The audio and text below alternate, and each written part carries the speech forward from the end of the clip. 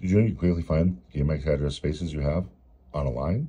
If we open up our patch view, by open our view and then patch,